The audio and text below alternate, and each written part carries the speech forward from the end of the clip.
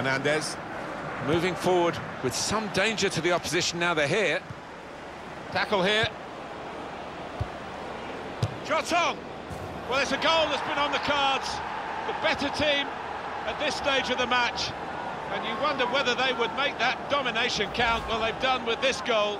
Thoroughly deserved. They lead. In terms of shots, there's a real gap between these two.